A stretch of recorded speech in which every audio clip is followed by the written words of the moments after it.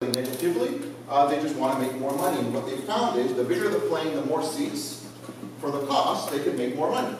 So there's a movement for airlines to move away from what was once smaller aircraft, 25, 50, 60 passengers. Now the smallest regional aircraft you can find is about 75 passengers. What happens when you have to do that and you have to fill the plane about 70, 75% in order to be profitable on it, doing that in a small airport is problematic. So not only is there a move to larger and larger aircraft, there's a move to larger and larger airports. So the people losing out are the smaller communities, rural communities, secondary airports, etc. If you look at kind of the graph, it's interesting. This year, 22% of all flights in the U.S. will be done by aircraft 50 seats or below. It used to be 45% a little over 10 years ago. So think of what that means for the exact same flight the passengers, what that means to accessibility, etc. So that's one thing that's happening. Another thing is that it just isn't attractive from a fuel perspective. Uh, fuel represents 30 to 50 percent of the airline's operating costs. 30 to 50 percent. And oil prices are going up. We're now at 83, 84 dollars per uh, barrel. We were at 60 a little while ago, so oil prices are going up. Even if they stay at this level at 80, it becomes really expensive to operate an airline. That's another thing happening. The third is that a survey in 2017 showed that passengers want to fly mostly based on price. Service is great, but you know, it's a bus. We've all come to realize that air transportation today is not the cool experience that even I as a child remember being. It's just a mode of transport. So price wins. So the cheaper the price, the better. And when you have less small aircraft flying from less small cities, that means that the airlines that do fly there, the prices are expensive. I checked what it would cost me to fly to Spokane from here tomorrow morning, and it's about $600 return to Spokane. 280 miles. That's crazy. $600. Now, if I plan it two weeks away, I can get it for 200, which is somewhat reasonable. But if I'm a business person and I'm living on the, in the on-demand economy, I don't plan my business two weeks in advance. I want to go visit my customer or my employee tomorrow, and I want to make that decision today. So $600 is unrealistic. On the other hand, driving to Spokane, four and a half to five hours, unrealistic either. So if we look at a practical example, if I'm an Amazon, a Microsoft, a Starbucks, my previous software company, a small company in Bellevue that did software, we were looking to build a second design center because in Seattle, there are 5,000 open software development jobs today. 5,000 open software development jobs. They can't get enough people. Spokane has three universities, three, in Spokane that teach computer science and engineering. Those folks can't get a job unless they come to Seattle. The companies here won't open a dev center in Spokane. Why? Because I don't want to drive four and a half hours to visit my employees, and I definitely don't want to pay 600 bucks every time I go on, want to go visit them, with frequencies of once an hour. What if the frequency was once every 15 minutes? It was 100 bucks tomorrow, and I only had to fill 9 or 10 seats in a plane. That would change the whole notion of on-demand, right? And let the airlines, not lose out, let the airlines put their larger 75, 100 seat planes that were built for 1,000 miles or more in efficiency, let them fly those longer routes.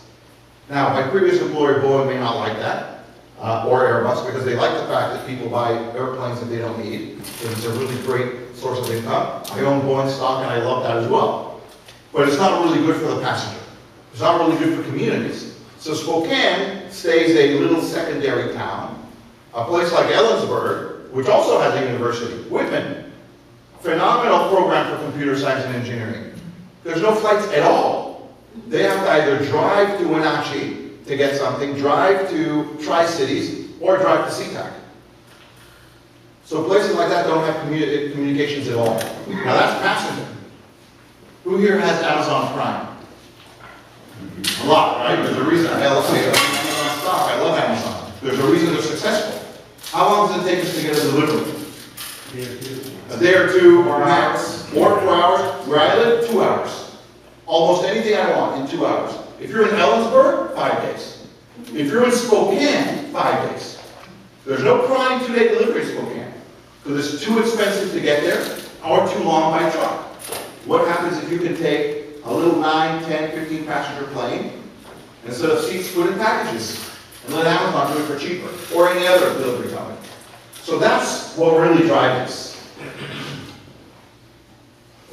When we look in general at what the future of electric aviation looks like in transportation, we really divide the spectrum into three.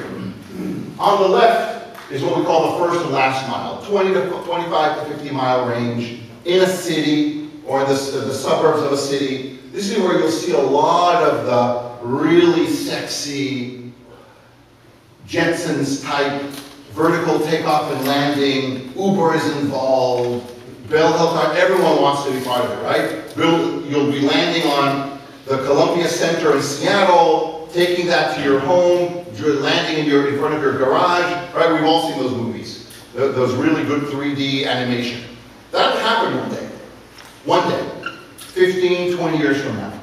And it's not that it's a huge technological problem, but if you take the fact that it's a new type of aircraft, an aircraft that has no wings and no big rotor, so no one knows about it. It's all electric, so you have all the issues that go with it being a new type of propulsion.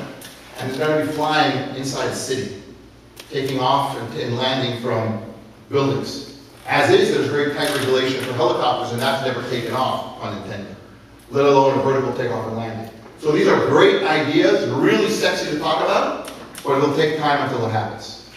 The motors they need, if we tie it back into why we exist, the motors they need 80 to 150 kilowatts. 150, 200 horsepower.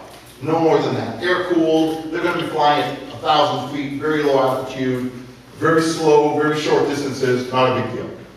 So that's first and last mile. There are also alternatives. We may not like them, but driving, buses, subways, and places that have them. There are a bunch of alternatives to solve that problem. Not as nice as a vertical takeoff and landing aircraft, but it exists. Other completed stream, go flights above 1,000 miles. Cross the United States, Seattle to New York, New York to London, Seattle to Brisbane, I'm going to do that, it's actually Seattle, LA, LA to Brisbane, I'm going to do that this Sunday to go visit our company. Those don't need a lot of issues. Very efficient aircraft. Boeing, Airbus do a phenomenal job in making those aircraft really efficient for those distances. Now again, it would be great to make them electric, get rid of fuel, get rid of emissions, but until that happens, you're talking probably 40 years away. Battery technology, propulsion technology, etc. So we don't deal with that either, and one day that'll happen, but that's even farther out. Where we are is the real problem, again, the middle mile.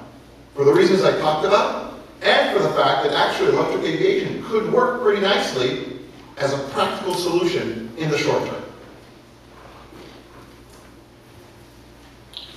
So right now, and I'll talk about this in a second, and I'll start with this uh, comment and we'll talk about it as we go through. If I took a Cessna Caravan, I think everyone knows what a Cessna Caravan is, right? Workhorse of aviation. Take a Cessna Caravan, put a 750 horsepower all-electric motor on it, with battery technology that exists today, not four years from now, but today, you could probably get a 100 mile range. 100 miles. Nothing to write home about, you know, not a big deal. Harvey Field, 100 mile range. That's what it is. You could fly to Olympia without standing in traffic and see Seattle at Tacoma. You could go to Vancouver, almost, but a small airport or a few runways that are south of Vancouver. You could go to, guess where? Ellensburg, from Harvey Field. So 100 miles isn't phenomenal, but it's pretty practical if you talk about high-end frequencies. So if you're in Everett at Boeing and you wanted to live in Ellensburg and you wanted to commute somehow, that might not be a bad deal if the price was right and you could actually have that in high frequency. Or Everett, uh, Paine-Field to Ellensburg, Paine-Field to Cle Elum, weekend getaways, things that only the rich and famous can do today with private aviation, you can do with electric.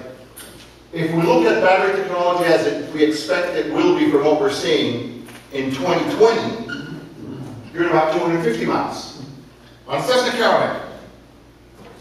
250 miles becomes really interesting. Suddenly, Harvey Field to Portland and south, Spokane and Vancouver become a reality. Amazon, Microsoft, Starbucks can all open dev centers or operations in Spokane and not worry about having to fly or drive it. Because it'll be electric and it'll be cheap. Now when I say cheap, A Cessna Caravan going 100 miles flight, about three to four hundred dollars is spent on fuel. Twelve dollars for electricity. Three to four hundred dollars on fuel for 100 miles, twelve dollars for electricity. Let's assume all other costs are equal. Imagine what that does to a ticket price. What profitability allows an airline to actually provide its consumers with flights. So 250 miles suddenly becomes not only practical, but actually really attractive. Right now, Seattle to Spokane is done by either Embraer 175-8s, sometimes a 737, aircraft that were built on efficiency for longer than 1,000 miles. And yet they're flying 280 mile legs. Once an hour, 600 bucks. Airlines don't make a lot, go ask Alaska Airlines. They don't make a lot of money, if any, on these flights. But they have to, because that's part of being an airline. You have to go to some secondary markets that maybe aren't that attractive, but that's part of what you have to do. What if you could get rid of that, put those airplanes to use at long distances, and allow a small 9, 10, 15 passenger aircraft to do it electrically? About six, seven years from now, 500 miles. 500 miles, uh, you're doing quite a bit. I mean, you're into Idaho, you're up to the way north of Vancouver. If you're in uh, San Francisco, you're making it to Vegas. If you're in New York, you've covered the northeastern seaboard with 500 miles. That's using a Cessna Caravan, a plane that was designed quite a few years ago around a PT6 engine. It wasn't built for electric efficiency. It wasn't built for anything that has to do with electric or these ranges. Take, for example, an all-electric aircraft is being designed, like one by an Israeli company called Eviation. They're taking the concept of what would happen if I designed an aircraft around an electric propulsion system. All revolutions in aviation, if you look back in history, have happened around propulsion. It's not that someone designs a plane and says, hey, could we put a motor on it? It's here's the motor, how do we take advantage of it with the plane? Throughout history, that's how it happened. So if you take a company like Eviation, they're building a nine-passenger plane that will go 650 miles on today's battery technology. So half the gains that an aircraft gets out of electric propulsion is from the fact that there's no fuel, the fact that there's no emissions, the fact that it's lighter. The other half is from the design of the aircraft. So if you go onto their website and look at their aircraft, their motors are on the wingtips and the back, and they're all pushers. Propellers facing back. Because that helps with the efficiency of an electric motor for multiple reasons. And they can take advantage of it on motors on the wingtips because the motors are so much lighter that they can actually help with control of the aircraft, etc. So they can get a really good range, so 650 miles. So that becomes suddenly interesting. So who's the company? We were founded in 2009 down in Australia, of all places, as an R&D firm looking at electric motors, not necessarily aviation, but in general. And as we worked through that, we suddenly found and developed this motor that we have now as a prototype that we'll talk about, that we said, wait a minute, this is interesting. 350 horsepower, 110 pounds, liquid cooled, 2,500 RPM, so you could actually do something pretty practical with it. We looked at who could use this practically. We tried bus, buses, cars, boats, planes, we looked all around, industrial, and figured out the place that power to weight means the most is of course aviation. If a car is heavy, it'll do the zero to 60 in a little, in a little less time, or a little more time. If a boat's heavy, it'll just float slower.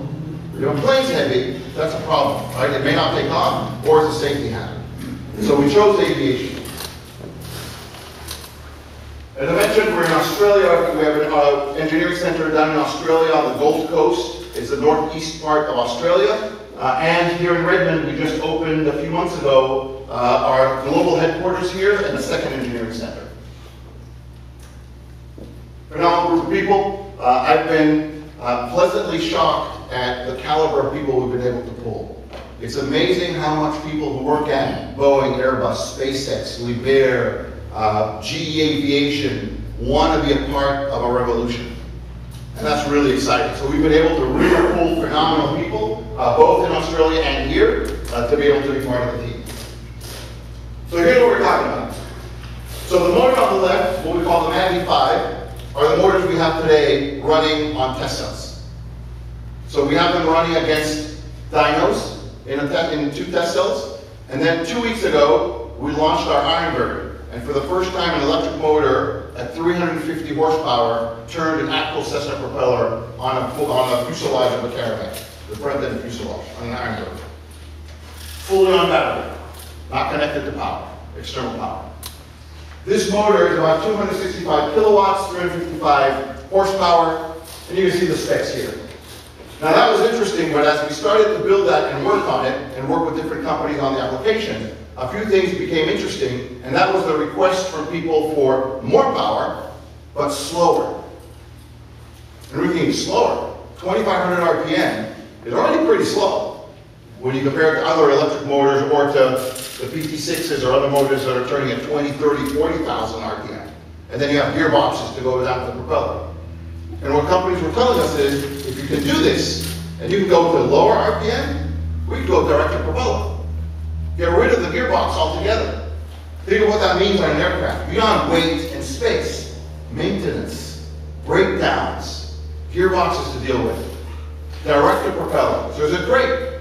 So we just finished designing our Magni 250 and our Magni 500, which will create 300, as you can see, 375 horsepower and 751 horsepower, respectively, both turning at 1900 RPM. Think of that. 1900 RPM, 751 horsepower. We are going to dethrone Pratt & Whitney. That's our goal. It's a lofty goal. If you're not going to have a lofty goal, why have one at all? but we're going to get rid of the PT6. Enough with that. It's been way too many years with gas guzzling, high service cost, overhaul motors, and we're going to go all electric. So that's our goal. So we have these two motors in development now. As you can see, max speed, the 1900 is continuous by the way. One thing that I'll advise you all when you hear about these great electric motors, check a few things when they give you specs. One, is it continuous or max. So we can go, for example, to a max of 3,000 RPM, and instead of having 375 horsepower, get a max of about 450, but 450 seconds. Why is that good? If you suddenly need a burst of power to avoid something, for example. You lose one motor, you want the other one to really carry the weight, so to speak, and give a pilot safe landing, as opposed to just operate on one. So that burst of power is important but you're not going to have it rated for that as continuous, or it would be. So when you hear companies talk about, oh, we do 500 horsepower, well, is that peak or continuous? Second, is it in thermal equilibrium or not? So you guys know about motors and how they work, right? Is the peak that you're measuring or the continuous that you're measuring at operating temperature or cold temperatures? Because if they're cold right out of the box, you can get really good specs, as opposed to when they've been operating for the last four hours.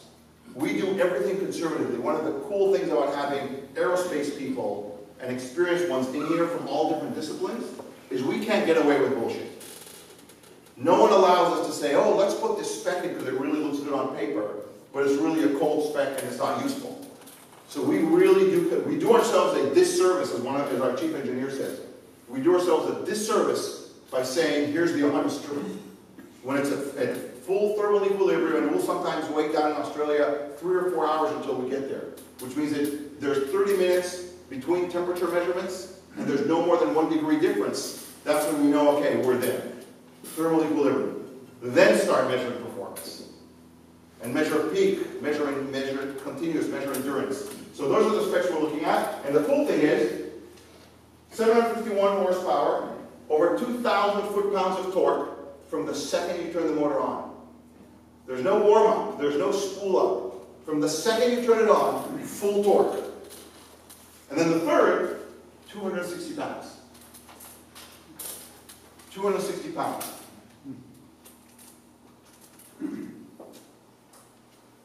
So, there's three parts to how we've been able to achieve this. One, magnetic design. So it's a permanent magnet motor and the way we, and there's quite a few of them out there. Uh, by the way, the only other company in the world that has been that has been able to produce a motor of this scale, 350 horsepower, is Siemens out of Germany, which are a phenomenal company. Uh, people ask us if we're competitors. We will be, But at this point, there's no market to compete in, so we're really both trying to convince the aviation industry that we should go all electric.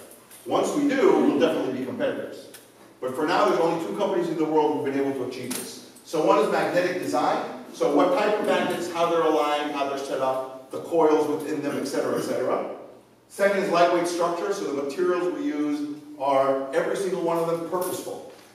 Intentional use of type of material to the type of requirement so that we can really reduce weight. And then the third is a key part, liquid cooling. As I mentioned, when you look at the 80 kilowatt, 150 kilowatt, so 150, 200 horsepower electric motors, they don't really need liquid cooling. Low altitude, low speeds, small, short distances. Air cooling is okay. I still question it, but it's okay.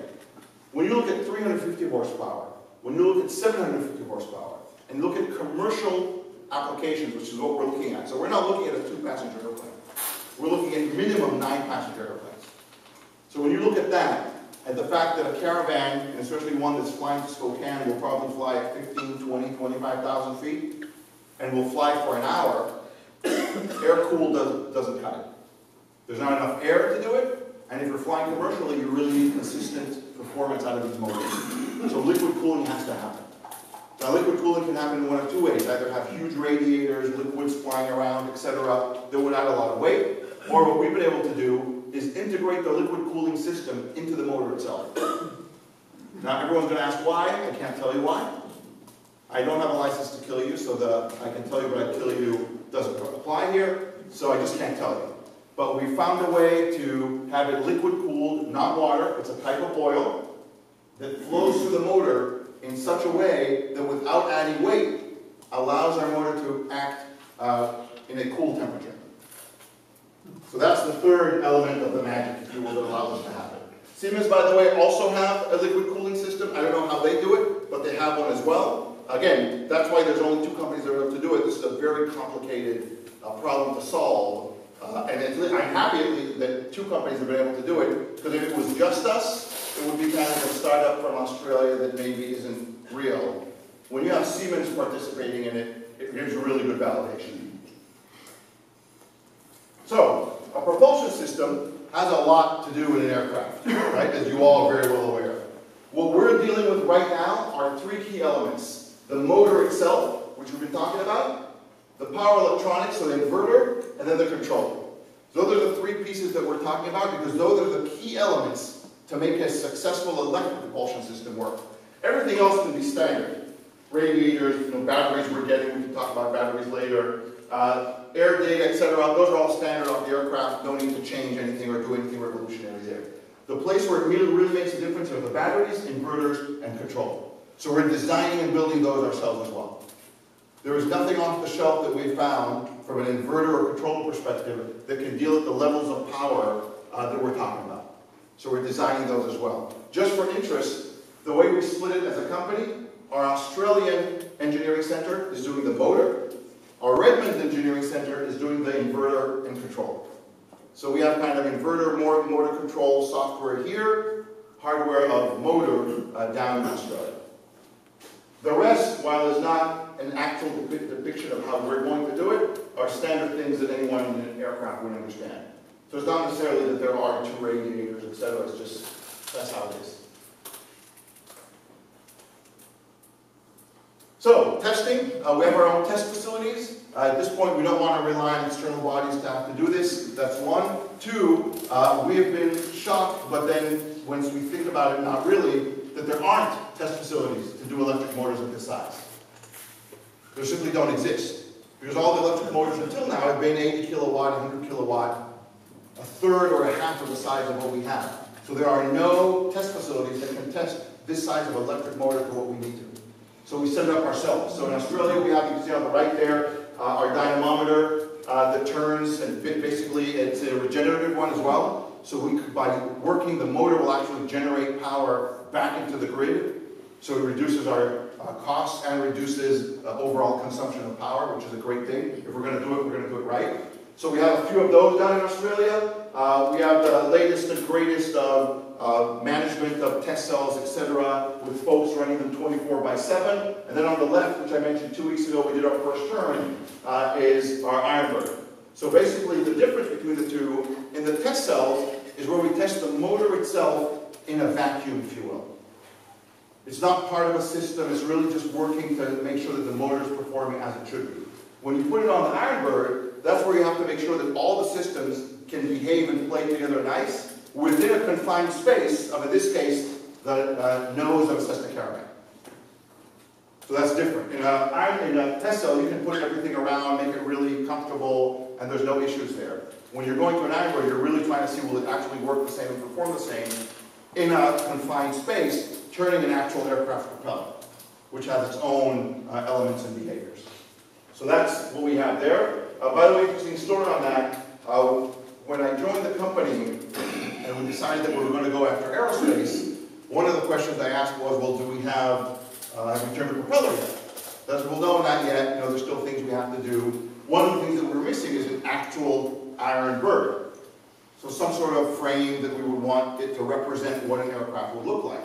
So we thought, well, what can we do? Well, maybe we can call Cessna, get all sorts of, you know, design, engineering documents, et cetera, then have some sort of aerospace welder, maybe put something together.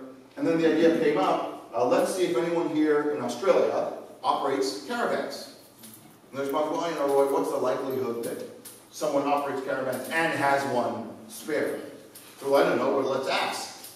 So we found an operator of caravans 30 minutes away from our facility.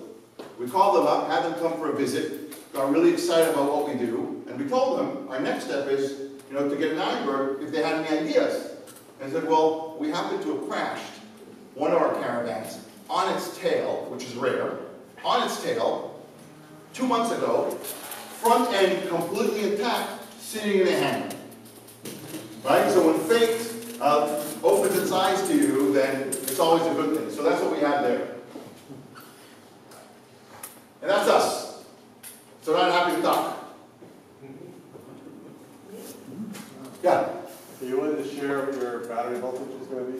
Uh, we're doing a range of batteries uh, between 540, or actually we're checking 490 volts, all the way up to 750.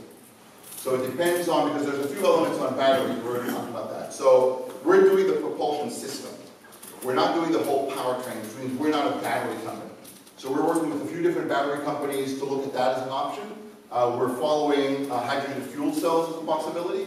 And then if there are companies who want to do, uh, for example, a hybrid and take our electric propulsion system and power it through some sort of uh, gas guzzling machine, uh, we're happy to do that as well. We're not developing a hybrid system. Uh, we believe that's an interim solution for what the real long-term solution is. And as you can imagine, if you're delivering a hybrid solution to an airline, you better be ready to support it for the next 15, 20 years, the life of the aircraft. You can't just say, oh, I've moved on to new technology, thank you very much. So we're going all electric, but if someone wants to power it with something else, we can do that as well. So because we want to work with a range of batteries, then we said our motor has to be able to do 490 to 750.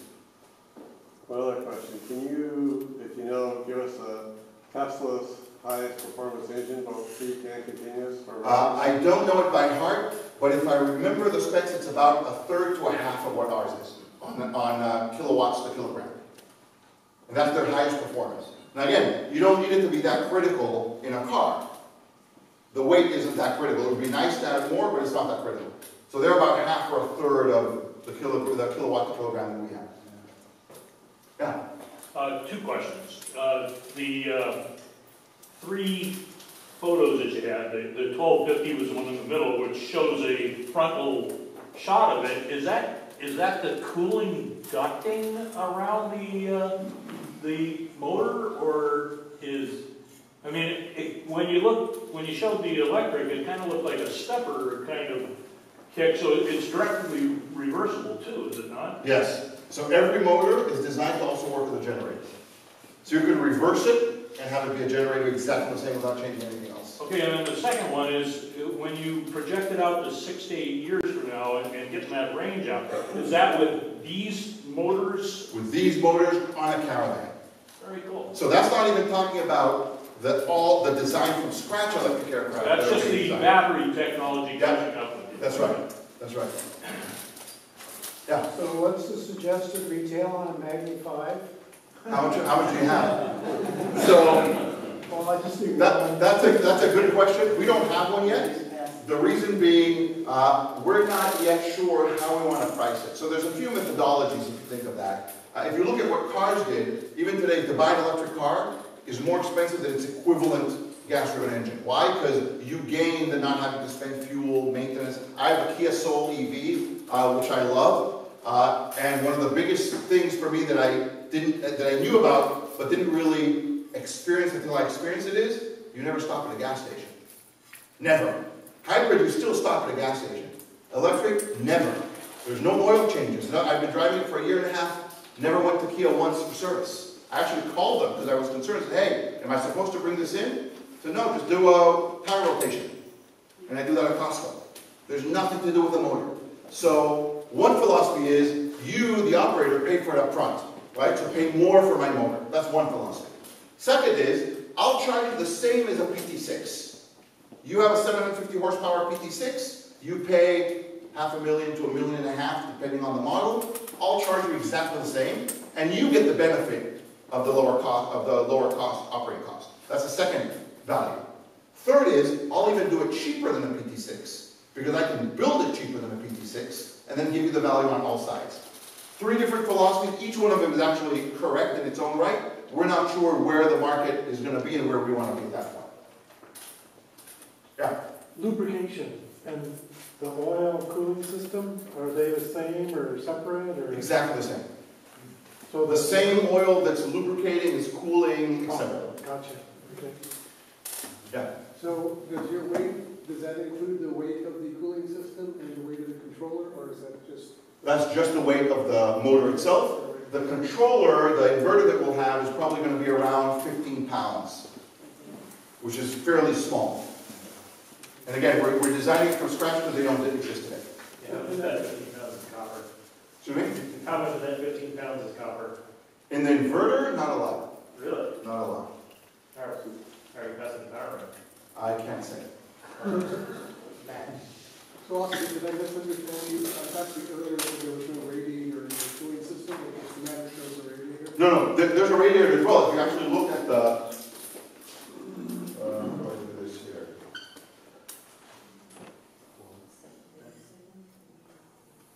There's actually a radiator. Oh.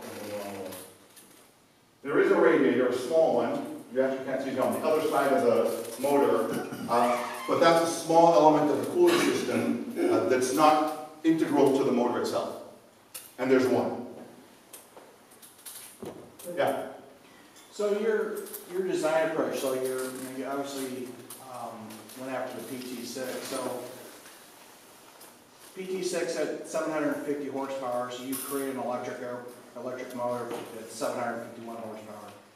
But aren't you really looking at, we need to build an electric motor that can produce enough torque to be able to spin a prop within this range, to be able to create the same amount of thrust that a seven hundred and fifty horsepower PT six is with, with whatever prop that they have? I mean, is that what you're actually trying to do versus trying to match horsepower?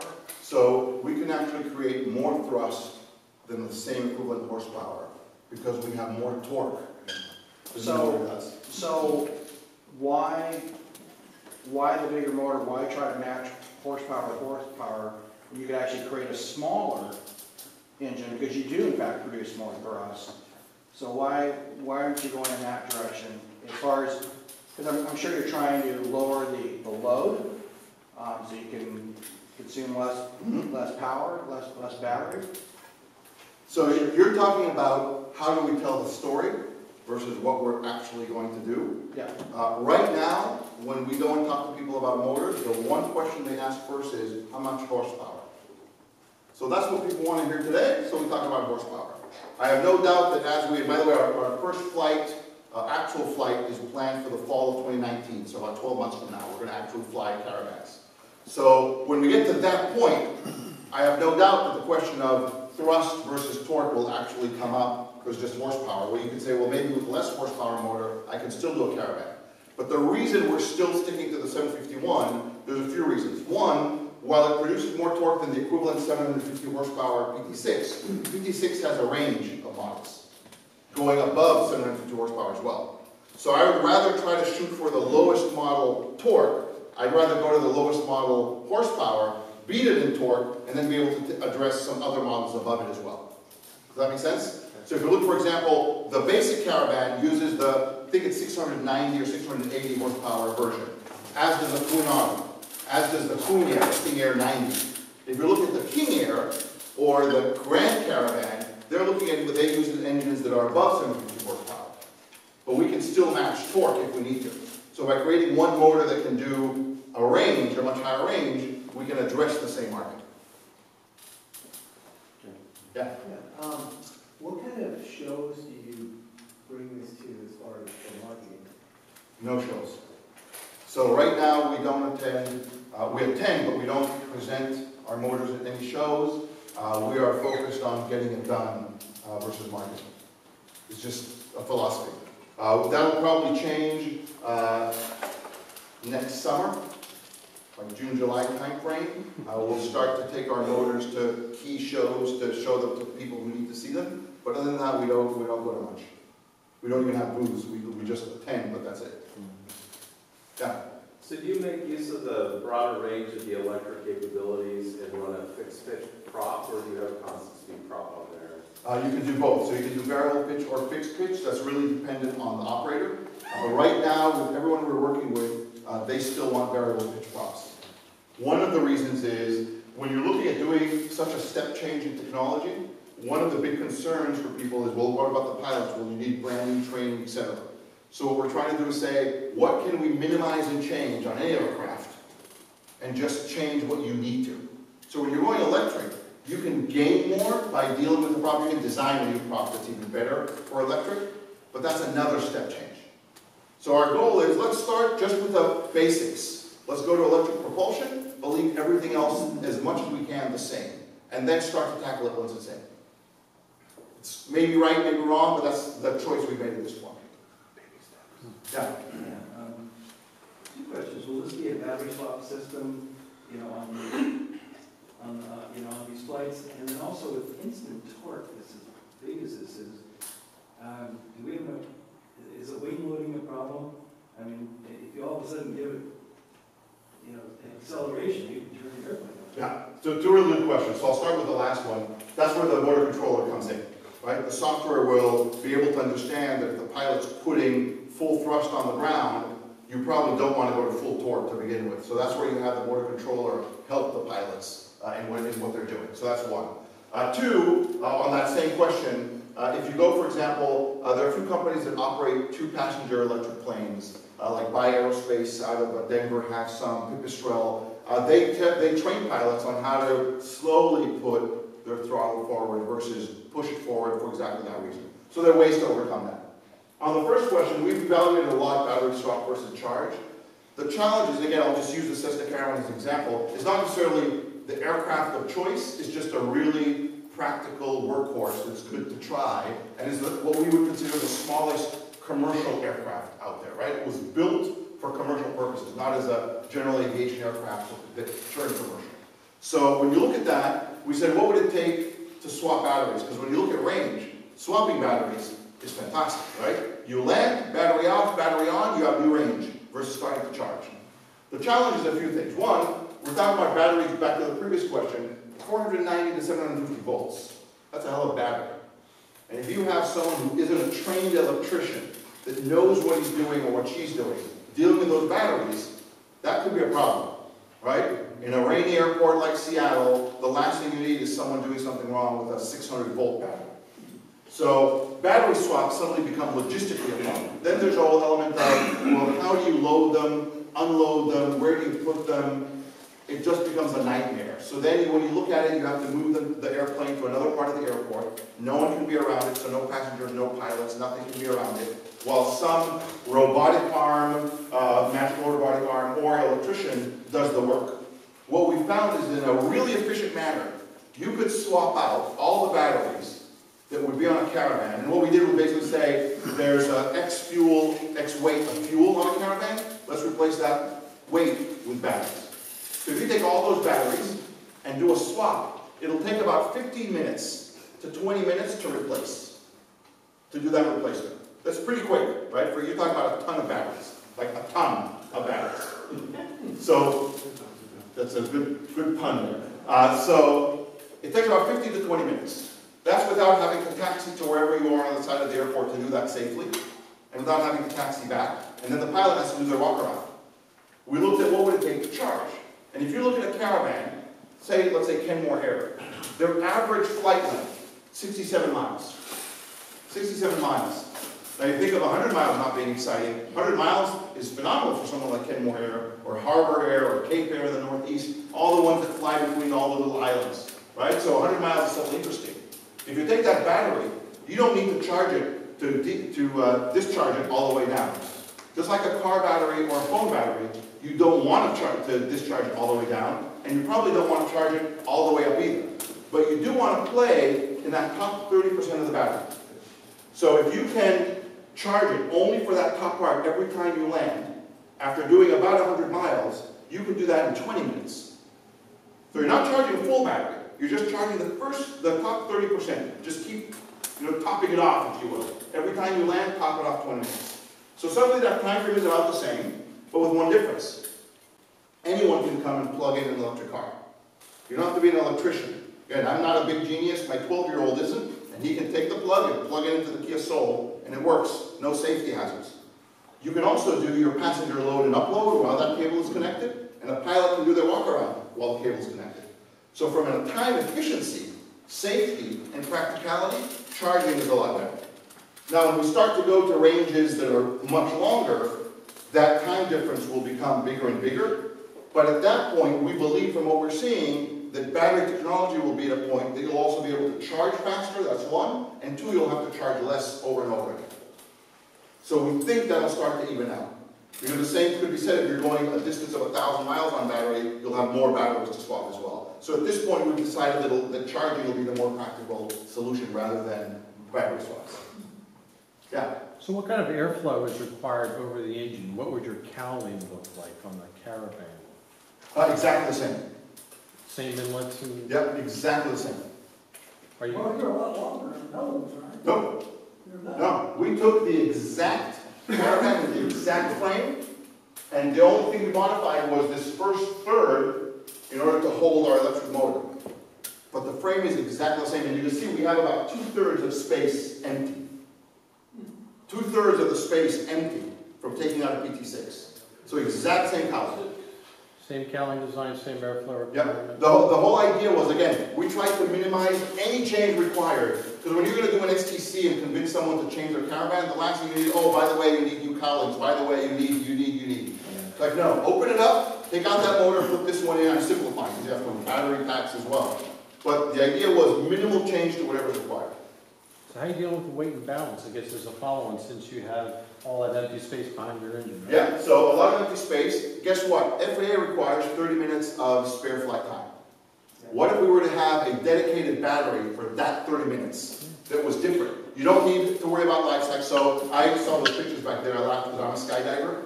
My emergency pack, my emergency chute, is still a parachute, but built very differently for my main. Right? It's built for a few uses, then replace. It's packed differently, it's built differently than the one that I open every single weekend. Right? Same thing with batteries. For my day-to-day, I want a battery with really light, uh, long life cycles, multiple cycles. The emergency one, I can have it be a little heavier, less cycles, but I want it dedicated for those 30 minutes of flight. That could be a perfect fit into there and have it separate as an idea. Yeah. It seems to me that we've got an opportunity for some system synergies there. I mean, here in the northwest, of course, we have a good portion of the year that there's serious icing considerations, and most folks just stay on the ground. Um, You would get a lot more dispatch reliability if you used some of that juice to keep the airplane going. Right. Warm, electric de-icing, which now, you know, 8.7 has electric de-icing, so that those technologies are starting to come to play. At this point, we've not even thought about that. Again, we're, we're still building the motor, right, making sure that it works. But you're right, I mean, there are so many opportunities, pressurization, uh, cabin pressure, uh, de-icing. I mean, there's a lot of systems that can work off of this, but we're gonna, let's tackle one at a time and make sure the plane can take off and, and fly. Yeah. Any expectations on longevity? Are, are, do you think these motors will go a thousand, five thousand, ten thousand hours? The expectations are very high. What, what they'll be, I don't know yet. The, from what, from our, I'll call it theoretical research, they should be able to last around ten thousand hours. Ten thousand. But that's theoretical, right? Until you actually operate them for ten thousand hours, who knows? But at least our theory, from what we've seen, from what we've seen on vehicles, from other electric motors, and our designs, we think around ten thousand hours, but again, that, that's theoretical and not worth much. Yeah, And the- the expected mode of failure, is it bearings or is that a normal? it's also unknown. That's one of the things we're testing. So we've already tested, we've already run these tests over thousand hours in our test cells. We're now running them, as I mentioned, on the Ironbird as well. Uh, there's a, a, a a ton of things that can happen, which is why we're working, for example, with the FAA, with CASA, EASA to work on them. Uh, but you could have bearings, right? You could have uh, short circuits. It's an electric system. So short circuits, I mean, there's a million things that could happen, uh, which is why we test for every one of them. Yeah. Can you, uh, tell us what your noise level delta is between PT six and this? Mm, That's a good question. So the first video we did of our first term, uh, we sent it to two reporters, and they said, hey, can you send us the video with the sound? And we know that is the video with the sound. It- it's like a car. So think of an electric car. The only thing you hear are the wheels on the road. You don't hear the engine itself, the motor. There's no noise. It's exactly the same. So when we turn on the, the motor, I was there for the first one, it was fascinating. You turn on the motor, and there's no sound. So I had to ask the guy, hey, are we starting yet? So yeah, it's on. There's just no sound. Once you turn the prop, you have the wind blowing, the sound of the wind. Significantly quieter. It's not silent because the propeller is making noise, but it's significantly quieter both before you, you, you engage the propeller and even after than you will with the traditional aircraft. We're going to take measurements. We're going to, once we put them on the actual aircraft, we're going to bring do side-by-side comparisons, etc. But even just on the face of it, you're significantly quieter. And by the way, another cool part, there's no smokes or emissions or anything coming out of it. Anything. It's inside our building. There's nothing coming out, coming out of it, which is phenomenal. Yeah. You might have covered it, but is the uh, inverters you're developing, are they liquid cooled also? Yes, also liquid cooled, and yeah, our development is liquid cooled with the same liquid, same system. Yeah. Partly in that one step, I assume you're not doing your own gigafactory, but I also assume you're making your own battery packs. Are they gonna be liquid cooled as well? Uh, so we're not making our own battery, battery packs at this point. Again, we're working with other battery companies to try and be, I, I would rather be battery or power agnostic. So I'd rather work with multiple battery companies than try to tie myself into one. That may change as we progress in time, but right now we're working with a few different ones. We have specs that we require, but they're developing. Are they gonna be liquid cooled too? Uh, no comment. Yeah, Do you expect your cooling drag is gonna be quite a bit less? My Cooling drag? cooling drag, I can't answer that question. It's not I can't tell you, I just can't answer that question. Yeah. Um, Is the technology that you're working here scalable down?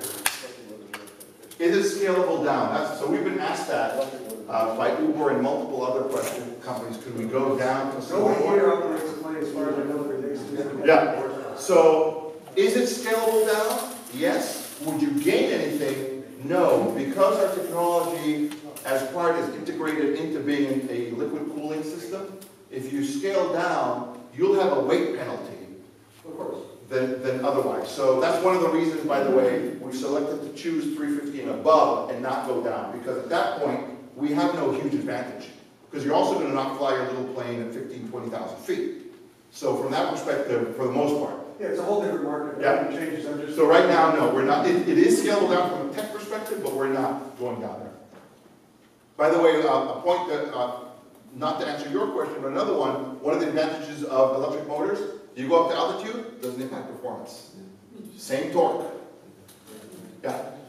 So this is a speculative question that I realize is something that doesn't have anything to do with, but looking at the future of electric aviation, I'm building a biplane. It was designed in the sixties, and it's designed for a hundred twenty-five to hundred eighty horsepower gas motor.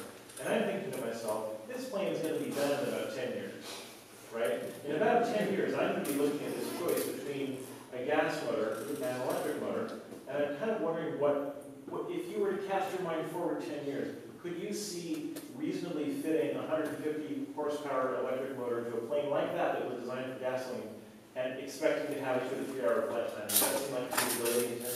Absolutely, absolutely. But I will say that when you compare that, it'll be like today, one of my dream cars is one of those old Ford pickups, 46, 48, time era. My wife tells me there's no way you're gonna buy one until you're actually 65. So I still try to convince her, because there's a beautiful, right, it's a beautiful piece of machinery, and you have people who deal in these old, old technology mo- uh, uh, motors. 10 years from now, that's what you'll be facing. 10 years that the 150 horsepower gas motor you'll need will be historic. Because everything will be electric at that size. Bigger size, not yet. But in 10 years, everything that's 150 horsepower, 200 horsepower, I think will be electric and gas will be the rarity. And two to three hours is going to be easy. Uh, uh, I mean, 10 years from now, that's going to be easy. There's technology today, and I'm not talking lithium ion. I mean, that in itself is developing, but not fast enough. There's sulfur-based, aluminum-based, solid-state batteries. I mean, the uh, hydrogen fuel cells, the technology on that's working and progressing uh, pretty rapidly as well. You'll have multiple options at that point to go all electric. Yeah. So I know nothing about electric motors. How does your motor differ from, say, a diesel electric train motor? Hmm. So, yeah, uh, theoretically, not a lot. If you take an electric motor on a train or an electric motor on, you know, there's a little boat you can rent in Seattle, the little electric boats. Theoretically, there's not a lot, right? You have power going in, you have coils and magnets, uh, and they create a spin, and that turns a shaft. Uh, but big, that's kind of the, the biggest theory. But it's like asking what's the difference between a Formula One engine and uh, Ford Focus engine. They're both gas engines, right?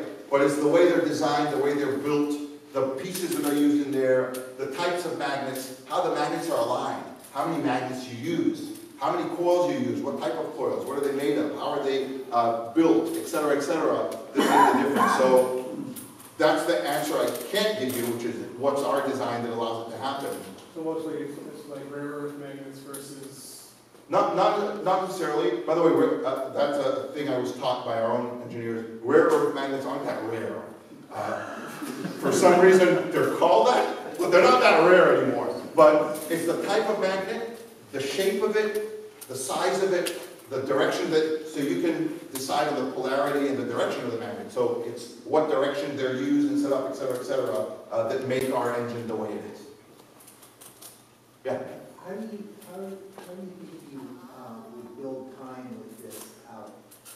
Um, It's, ten hours takes a long time. Yeah, but I mean, there's no engine company in the world that actually ran ten thousand hours before going. There's, that's the beauty of our regulatory uh, bodies, is they have standard tests they want you to pass. So for example, one of them is an endurance test. So take a, the regulatory, FAA requires that for an endurance test, you run it for six hours straight doing flight profiles, and they give you specifics, here's what we need you to do. We've already done it. Other companies that do electric say, ah, you know, electric motors won't fly a plane for six hours, so that test isn't relevant. So, well, who am I to say it's not relevant? Our regulatory body decides it's relevant, and until they change it, I'm going to adhere to it. I would actually rather the regulation be more stringent, because that's also a filter, right? Companies that aren't serious, they don't have the funding, don't have the know-how, don't have the knowledge, I would rather they not be part of it and allow those that are to be part of it. So if the regula- regulatory body is more stringent, I'm okay with that. I don't view it as a hurdle, I just view it as a gate that you have to go through for all the justified reasons. So how do you build time? Test cells, ironbirds, start flying, and then you extrapolate based on the data you collect, and we collect a lot of data. So you extrapolate based on that data and start to look out and see what it, what it looks like. Yeah? So you said you don't have emissions, but that also means don't bleed air, you don't have, uh, you know, the, the free, uh, uh, that, the compressor free. Right. So how, uh, you want this to be as low, uh, barrier to entry in terms of conversion, so how are you gonna deal with some of those? Because I know on like bigger planes, you've got really bleed air, you've got electrics and stuff, but that's on a huge scale. Right. What about on the smaller scale, is like, you know, your compression uh, system, air conditioning, other things like that? Yeah, so, so I'll, I'll say that we're still evaluating that. There's two potential answers, but we're still in the evaluation of that. One is, you do do it all electric, but in a scaled down version. And it's a lot easier to do, for example, electric de-icing for a caravan size than it is for an eight-seven size, right? Those are things that scale down actually fairly easily. So that's one element, is to do it all electric, including uh, pressurization of a cabin and so on. Second part of the answer is, while this may not provide uh, compressor or bleed air to it, you could put smaller versions of this as additional power sources to work off of bleed air. So there are ways to, to overcome that as well. But we don't know which is the right way, and that's, again, we're evaluating that now. Yeah, Solar augmentation, sorry? solar augmentation your, uh, Yeah, so solar is an interesting one. Uh, again, you, you go back to Bye Aerospace, George Bye is a good friend. Uh, he's a genius when it comes to aeroengineering. Uh, he tried a few solar aircraft. The challenge is, in order to get enough power out of solar on an aircraft, you need to have panels from here to, I won't say eternity, but pretty much when it comes to wings.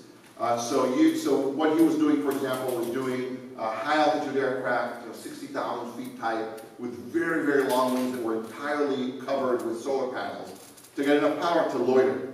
But you wouldn't have a lot of takeoffs. So that's not really powerful enough. Now, the flip side of that is, or the other side of that coin, to have solar power augmented charging stations. That could be interesting. So if you're looking at rural airports or airports that are not necessarily big hubs, there's a lot of there's a lot more space around them. So look around here versus SeaTac, right? You could put a few solar stations here, start to charge batteries, and then use those as needed. So there's other ways to use solar, wind, hydro around rural or, or secondary airports that isn't necessarily on the aircraft. Yeah. We had a speaker here sometime in the last year who was also talking about aviation. The question of solar powered planes came up, and I think that the speed he said was something like 60 miles an hour was the break even point for a pure solar powered, or maybe it was 25 miles an hour. I forget, it really low. Hit twenty-two, I think, yeah. Was it 22? Yes. Really, really Probably low. slow. This was uh, Zunum, I assume, right? I'm, yes, I'm Yeah, think yeah. probably, but, but it was interesting to me that, that there is that break even point, that if you want to have a plane that is entirely solar powered, that's actually where you do it, is at this ridiculously low speed. Which could be interesting for an individual, but for commercial, 22 miles an hour, if you're going to fly, you might as well take a bicycle, an electric bicycle, and If you're gonna, if you're gonna fly an internet connection, like, you know, Google was talking about their internet. Oh, absolutely, absolutely. So- It becomes really interesting. So, so interestingly enough, one of our top engineers came from Google X's, the Makani uh, program, where they had these giant uh, aircraft type flying. Yeah, absolutely. For that type of purpose, yes. For maybe a drone, a delivery drone, maybe that's attractive as well, because speed maybe, if it's not the two-hour delivery, if it's the multi-hour delivery, maybe it's interesting. But for a passenger or commercial type aircraft, not quite. Yeah, I just want to go back to your topping off the battery. yeah. I don't know if most people realize that charging from eighty to hundred percent takes just as long as it goes for zero to eighty. That- That's right. So topping it off is not really realistic. Actually, using the thirty to seventy percent range is more efficient as far as charging time. Yeah. what's your range, uh, what's your range if you use thirty to seventy percent? Versus the top 20 If you, versus going from hundred to thirty percent? versus going from You said, right now 100. you're saying your range is hundred miles an hour, hundred miles, sorry. 100 miles. Right? Right. You ready, math? Okay. Give us the Using only 30% of the battery. Question, you're gonna use thirty percent of the battery for that? 30% of the battery. Question answered. Yeah. Where did the regenerative uh, of the system come into play, say on a flight from Seattle to Spokane? Mean, Could you come down from thirty thousand feet to ten thousand feet and use that capability to recharge? Theoretically, you could, we're, we're looking at that, the, the notion of regenerative is very sexy, right, when you talk about electric. On my Soul, you put the lid off your gas, and it slows down and regenerates, so it's very sexy, but it's so little power when you're talking about a commercial flight. If you're looking, for example, again, back to Bye Aerospace Superpistro, when you're looking at a training aircraft that goes up and down multiple times, every time it goes down, it can give a little more juice. When you look at a commercial operation, Seattle to Spokane, it'll go down once. And unless you're, again, going back to skydiving, unless you're nose diving down and you're getting that propeller to spin and give you power, you'll get some back, but it won't be significant. Doesn't mean you shouldn't do it. So again, we're looking at that as an option as well, because it is attractive to get something back, but it isn't like you'll get 10, 20% back on a flight. It'll be very small. Yeah, Well, the, the aspect of, of the fact that you're getting it in the long part of the cycle, right? You're, you, you, you wanna be like, you know, uh, dropping off a blimp and then charging on the way down or Right. whatever. It's being at the end of the cycle, and you're gonna be plugging in in a few minutes anyway. Right. That extra time. is- yeah, it, it, that's what I'm saying, it's very minuscule, yeah. Okay. Um, cool. Thank you very much. Thank you.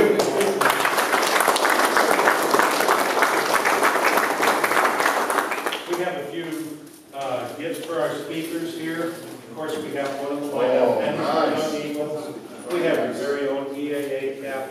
And since we are about home-built airplanes, we give you your very own home-built airplane. Oh, nice. Thank you. I appreciate so, it. Here, we have oh, well,